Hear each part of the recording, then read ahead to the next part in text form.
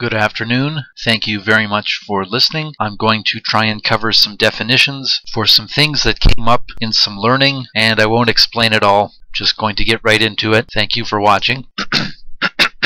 Phase detector. A phase detector or phase comparator is a frequency mixer, analog multiplier, or logic circuit that generates a voltage signal which represents the difference in phase between two signals, between two signal inputs. It is an essential element of the phase locked loop PLL. Detecting phase difference is very important in many applications such as motor control, radar and telecommunication systems, servo mechanisms, and demodulators types. Phase detectors for phase-locked loop circuits may be classified in two types. A type 1 detector is designed to be driven by analog signals or square wave digital signals and produce an output pulse at the difference frequency. I didn't read that wrong, that's what it says. A type 1 detector is designed to be driven by analog signals or square wave digital signals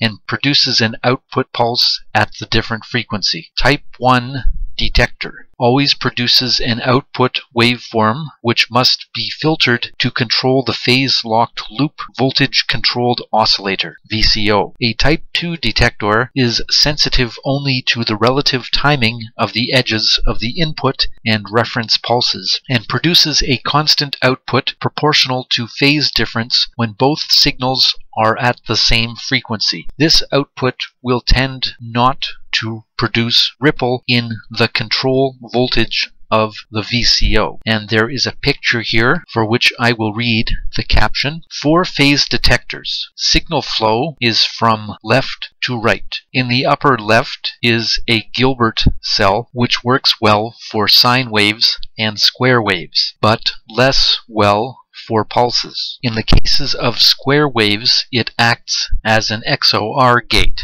which can also be made from NAND gates. On the middle left are two phase detectors. Adding feedback and removing one NAND gate produces a time frequency detector. The delay line avoids a dead band. On the right is a charge pump with a filter at its output.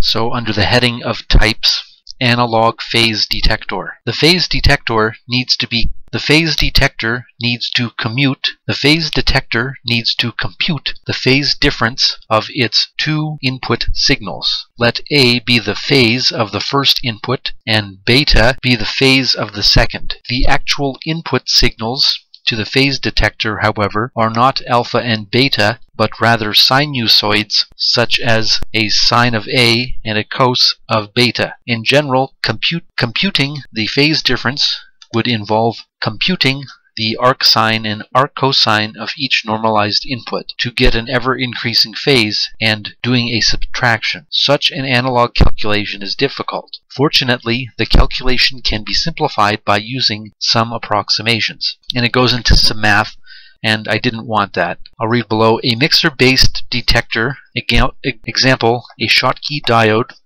based double balanced mixer provides the ultimate in-phase noise floor performance and in-system sensitivity since it does not create finite pulse widths and at the phase detector output. Another advantage of mixer-based PD is its relative simplicity. Both the quadrature and simple multiplier phase detectors have an input that depends on the input amplitudes as well as the phase difference. In practice, the input amplitudes are normalized. Next heading is digital phase detector. A phase detector suitable for square wave signals can be made from an exclusive OR XOR logic gate. When the two signals being compared are completely in phase, the XOR gate's output will have a constant level of zero. When the two signals differ in phase by the by one degree, the XOR gate's output will be high. Okay, so I think I'll pause it. Okay, now I'm switching over to another Wikipedia article, phase locked loop. A phased a phase locked loop or phase lock loop PLL is a control system that generates an output signal whose phase is related to the phase of an input signal. There are several different types. The simplest is an electronic circuit consisting of a variable frequency oscillator and a phase detector in a feedback loop. The oscillator generates a periodic signal, and the phase detector compares the phase of the of that signal with the phase of the input periodic signal adjusting the oscillator to keep the phases matched. Keeping the input and output phase in lockstep also implies keeping the input and output frequencies the same. Consequently, in addition to synchronizing signals, A phase locked loop can track an input frequency, or it can generate a frequency that is a multiple of the input frequency. These properties are used for computer clock synchronization, demodulation, and frequency synthesis. Phase locked loops are widely employed in radio, telecommunications, computers, and other electronic appliances. They can be used to demodulate a signal recover a signal from a noisy communication channel, generate a stable frequency at multiples of an input frequency, frequency synthesis, or distribute precisely timed clock pulses in a digital logic circuits such as microprocessors. Since a single integrated circuit can provide a complete phase-locked loop building block, the technique is widely used in modern electronic devices with output frequencies from a fraction of a hertz up to many gigahertz. Uh, practical analogies, automobile race analogy. As an analogy of a PLL, consider an auto race with two cars. One represents the input frequency, the other the PLL's output voltage controlled oscillator frequency. Each lap corresponds to a complete cycle. The number of laps per hour, a speed, corresponds to the frequency. The separation of the cars, a distance, corresponds to the phase difference between the two oscillating signals. During most of the race, each car is on its own and free to pass pass the other and lap the other. This is analogous to the PLL in an unlocked state. However, if there is an accident, a yellow caution flag is raised. This means neither the race car this means neither of the race cars is permitted to overtake and pass the other. The two race cars represent the input and output frequency of the PLL in a locked state. Each driver will measure the phase difference, a fraction of the distance around the lap, between himself and the other race car. If the hind driver is too far away, he will increase his speed to close the gap, to close the gap. If he's too close, the other car to the other car he will slow down. The result is that both race cars will circle the track in lock step with a fixed phase difference or constant dis distance between them.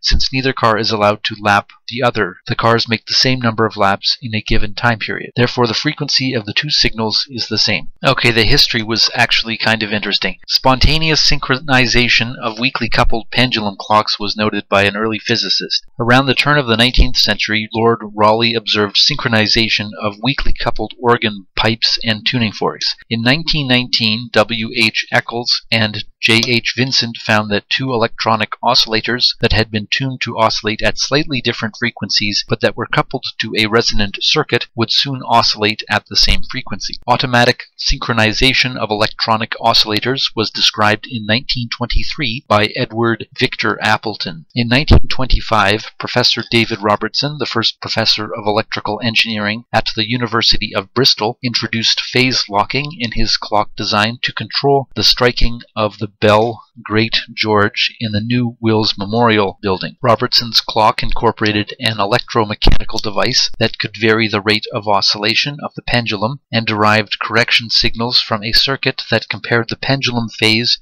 with that of an incoming telegraph pulse from Greenwich Observatory every morning at 10 o'clock GMT.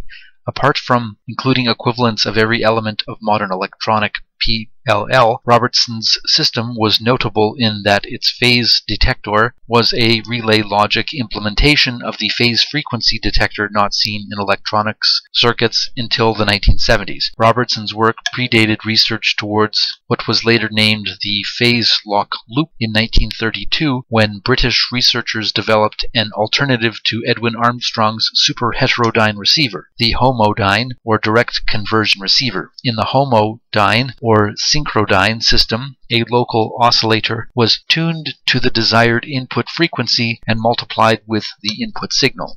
The resulting output signal included the original modulation information. The intent was to develop an alternative receiver circuit that frequency that required fewer tuned circuits than the heterodyne receiver. Since the local oscillator would rapidly drift in frequency, an automatic correction signal was applied to the oscillator, meaning it in the same phase and frequency maintaining it in the same phase and frequency of the desired signal. The technique was described in 1932 in a paper by Henri de Bellescize in the French journal L'Onde électrique. In analog television receivers since at least the 19th, late 1930s, phase-locked loop horizontal and vertical sweep circuits are locked to synchronization pulses in the broadcast signal. When Signetics introduced a line of monolithic integrated circuits like the NE565 that were complete phase-locked loop systems on a chip in 1969, applications for the technique multiplied. A few years later, RCA introduced the CD4046 CMOS micropower phase-locked loop, which became a popular integrated circuit.